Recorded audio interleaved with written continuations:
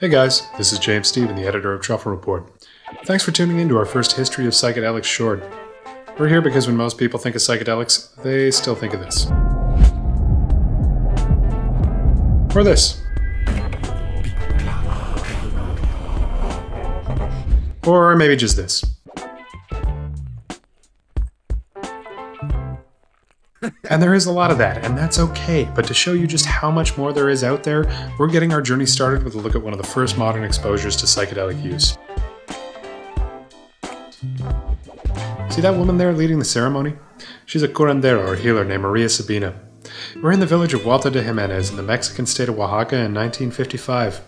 Her grandfather and great grandfather were both curanderos too, and passed on what they knew so she could continue the family tradition of spiritual healing using a psilocybin mushroom ritual called the velada. She's also about to have her life ruined. Sorry. It isn't her fault, it's this guy's. This is Robert Gordon Wasson. He was a banker, author, and amateur mycologist. For a long time, he got the credit for discovering psilocybin mushrooms. While it's unlikely that he was, as he claimed, the first white man to consume psilocybin, he was the first to record the experience for publication, and he did coin the phrase magic mushrooms. But I guess we'd better back up.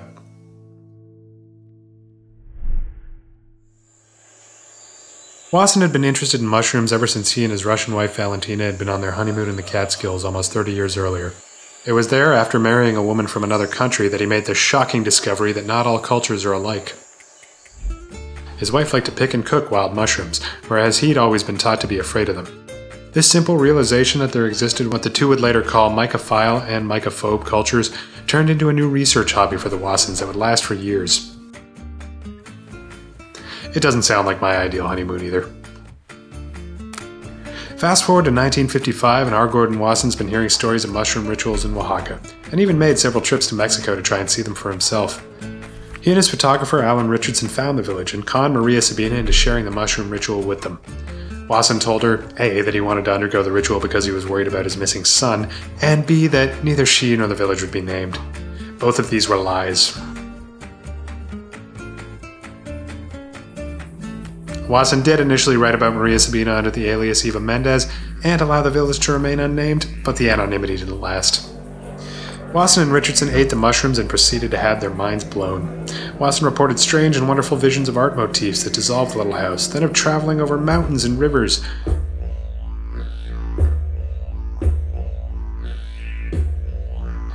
All with the sensation of feeling hours pass in the span of only seconds. Obviously, he didn't plan on keeping all of this to himself. Wasson sold the story to Life, one of the most popular monthly magazines in America. The reading public first encountered magic mushrooms nestled between ads for motorboats and makeup in June of 1957. The innocence of it all didn't last long either. Maria Sabina and the town of Huautla de Jimenez soon found themselves at the center of the world's first shroom boom. First, Wasson kept coming back with bigger teams that included French mycologist Roger Heim, who cataloged seven different species of psilocybe mushrooms in the area, and LSD inventor Albert Hofmann, who presented Sabina with a synthetic version of psilocybin. It might have been fine if things stopped there, but news of where the magic mushrooms came from leaked out. Maria Sabina's alias of Eva Mendez was blown, and the town became a destination for drug seekers and hippies. Maria Sabina, true to her beliefs, did her best to welcome them all. While there's no proof, she's rumored to have been visited by the likes of Aldous Huxley, Alejandro Jodorowsky, Bob Dylan, Carlos Castaneda, John Lennon, and Walt Disney, to name just a few. Fame didn't turn out well for Maria Sabina, or for her hometown. Mexican federal authorities raided her, thinking she was a drug trafficker.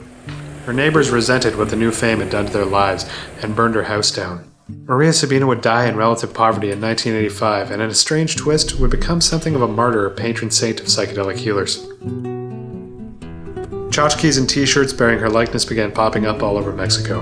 More recently, in November of 2020, her great grandson petitioned local authorities for custody of her remains, and turned the original site of the Veladas into a shrine and museum in her memory. Things went better for Wasson. In fact, he went on to self publish books on mycology and mushroom worship in other cultures around the world. Never more than an enthusiastic amateur, most of his theories concerning the Vedic Soma, Hellenic Kykeon, and an ancient global mushroom cult have since been largely discredited. For all the damage to Maria Sabina and Huautla de Jimenez that this wave of drug tourism caused, he remained largely unapologetic, saying it was unfortunate but a small price to pay in the pursuit of knowledge. Later, it would come out that at least part of his expedition to Mexico had been secretly funded by MK Ultra, making him an unwitting CIA asset in the search for mind control drugs. What can we learn from all of this? Psychedelic science isn't perfect, and trying to mainstream ancient and sacred practices doesn't always work out for everyone. Huautla de Jimenez felt the worst effects almost immediately, but it's safe to say that the rest of the world wasn't exactly ready for the massive wave of psychedelic use that followed in the coming decades. With media interest peaking again, and psychedelic tourism to Central and South America very much on the rise in the form of ayahuasca retreats and Ibogaine clinics, it feels like that's worth remembering.